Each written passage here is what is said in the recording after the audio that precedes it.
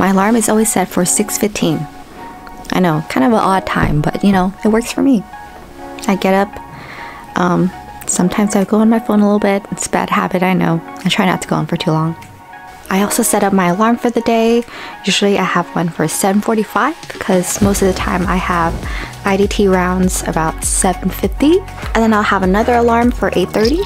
That's usually just um, a pharmacy huddle meeting we have every day. First thing I do is make my coffee. I use a Vietnamese coffee drip, so it takes some time. So I always make sure to do that first before I do my makeup.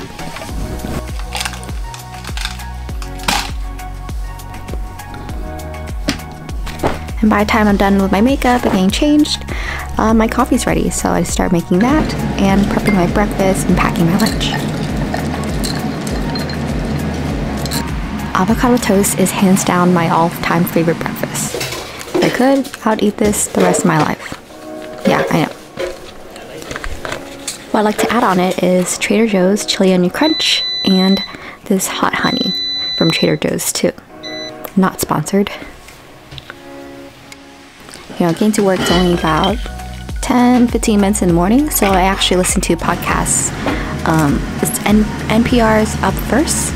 It's a 10 minute brief summary of the news for the day. Found that it's really helpful, you know, making sure that up to date about the news.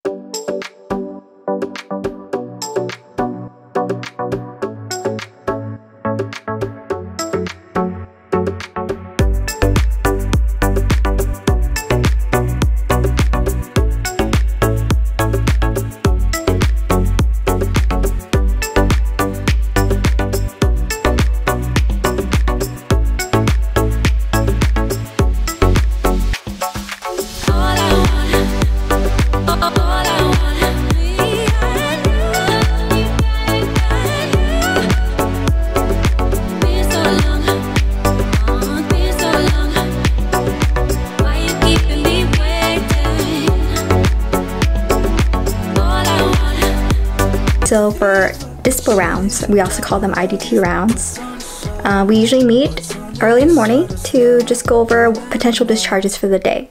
There would be attending, senior resident, case manager, social worker, pharmacist, me, and a physical therapist. Next, at this time, we would have a pharmacy huddle. During this time, the entire pharmacy department meets via Teams meeting, and we'll discuss if there's any issues for the day, um, if there's any call outs that we need to rearrange ourselves, or if there's any you know, product shortages that we need to be aware of,